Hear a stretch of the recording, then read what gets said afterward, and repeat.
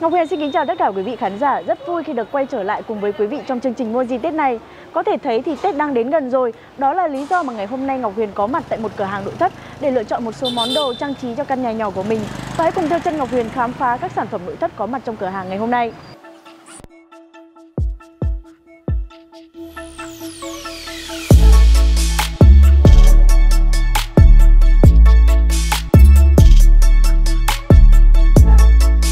Thưa quý vị, sau khi đi tìm hiểu xung quanh cửa hàng thì Ngọc Huyền đã quyết định là mua cho mình một chiếc bàn trà thông minh và có thể thấy là chiếc bàn trà này chúng ta vừa sử dụng uống trà, vừa có thể sử dụng làm bàn làm việc ngay khi cần. Rất thú vị phải không ạ?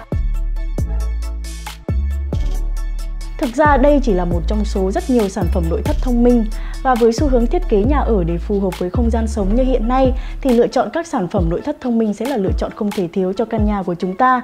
Và hãy cùng theo chân Ngọc Huyền khám phá những sản phẩm nội thất thông minh tiếp theo trong cửa hàng nội thất Fedeco ngay sau đây.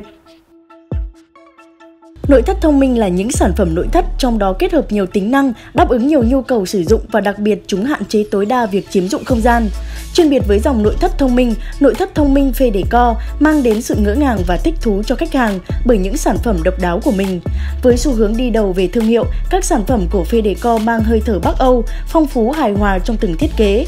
Ngoài bàn trà thông minh thì sofa là một trong những sản phẩm không thể thiếu, vừa làm ghế vừa làm giường, lại có thêm ngăn chứa đồ tiện lợi giúp tiết kiệm tối đa diện tích cho không gian phòng khách.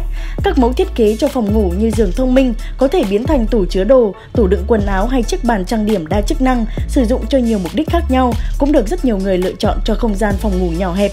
Ngoài ra, những sản phẩm như chiếc bàn ăn có thể gấp lại nhỏ gọn nhằm tiết kiệm không gian phòng bếp, những chiếc kệ để giày dép đa chức năng cùng những bộ bàn, ghế học thông minh giúp chống gù, chống cận hay những vật dụng trang trí, cây cảnh, phụ kiện cũng được nhiều gia đình quan tâm và lựa chọn cho không gian gia đình mình. Ừ, Fedeco luôn luôn đổi mới để đáp ứng được mọi nhu cầu của khách hàng và thậm chí thì còn đáp ứng được ngoài cái mong muốn của khách hàng đối với các sản phẩm nội thất. Trong một vài năm tới thì Fedecom muốn tất cả các hộ gia đình ở Việt Nam đều có thể trải nghiệm được những sự tiện nghi mà các sản phẩm nội thất thông minh mang lại để có thể làm cho cuộc sống của mọi người dân ờ, trở nên tiện ích hơn, chất lượng hơn.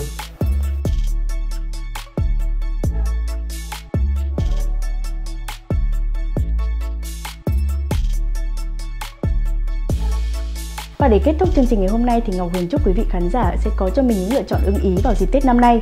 Đến đây thì thời lượng chương trình đã khép lại. Hẹn gặp lại quý vị trong những số tiếp theo của Mua gì Tết này. Có mùa gì Tết này, mua sắm chỉ là chuyện nhỏ.